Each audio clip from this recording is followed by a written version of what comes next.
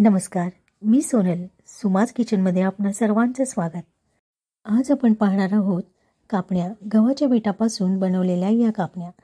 कापण्या हे आषाढमधील special recipe आहे. यासाठी एक वाटी पाणी मी गरम करण्यासाठी गॅसवर ठेवलेलं आहे.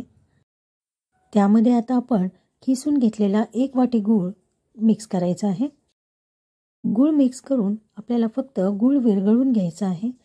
त्यासाठी आपल्याला गुळाचा पाक बनवायचा नाही आहे फक्त गूळ विरघळून घ्यायचा आहे आणि गॅस बंद करायचा आहे.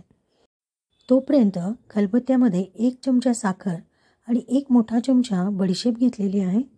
तीन वेलदोडे घेतलेले आहेत. ही पौष्टिक रेसिपी आषाढमध्येच का केली जाते? आता हे तिन्ही पदार्थ आपण व्यवस्थित छान बारीक करून घ्यायचे आहेत. तुम्ही मिक्सरमध्येही करू शकता. परंतु वेलदोडे असल्यामुळे ते मिक्सरमध्ये व्यवस्थित बारीक होत नाहीत. त्यासाठी जास्त प्रमाण लागतं. आणि खलबत्त्यामध्ये छान बारीक होते. आता आपण हे गुळाचं पाणी व्यवस्थित गाळून घेऊया. त्यामधील काही कचरा काळ्या असेल तर त्या निघून जातात. आपण पाहू शकता हे गुळाचं पाणी तयार झालेलं आहे. आता या गुळाच्या पाण्यामध्ये आपण ही पावडर मिक्स करायची आहे. आपण ही पावडर पिठामध्ये जरी घातली त्यापेक्षा जास्त चव गुळाच्या पाण्यामध्ये घातल्याने येणार. आता आपण यामध्ये जी बडीशोप आहे त्याचं सर्व सत्व येण्यासाठी एक उकळी आपण या पाण्याला काढायची आहे.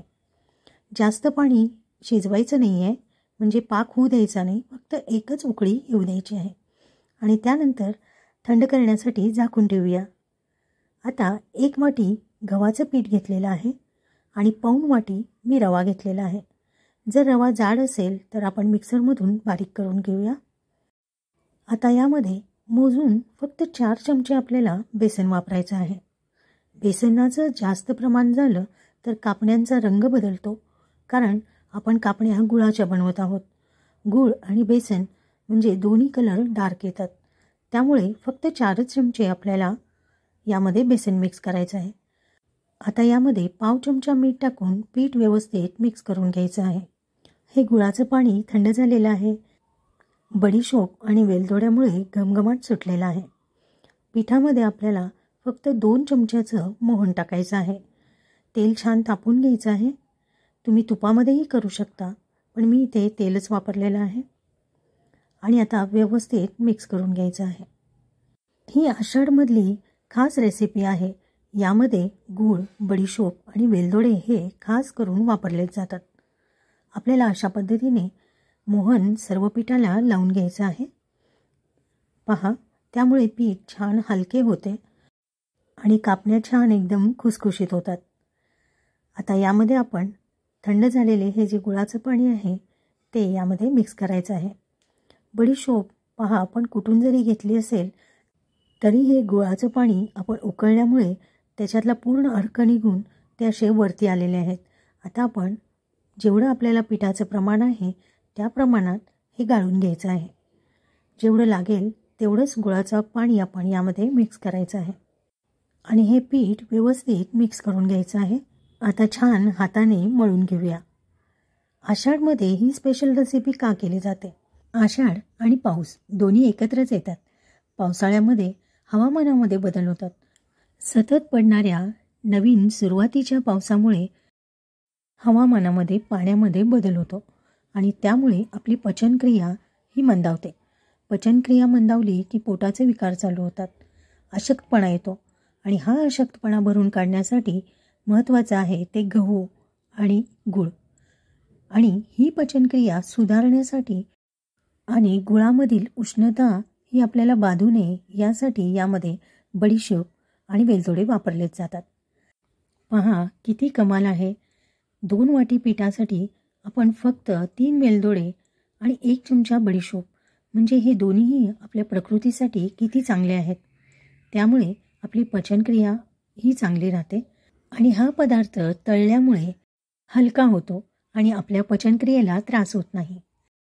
आपल्या भारतीय पारंपरिक प्रत्येक रेसिपींमधून आपल्याला काहीतरी आरोग्यासाठी चांगलंच मिळालेलं आहे. प्रत्येक सणाला किंवा इतर काही खास वेळेस केले जाणारे पारंपरिक पदार्थ हे आपल्या संस्कृतीमधूनच आपल्या प्रकृतीकडे लक्ष देतात.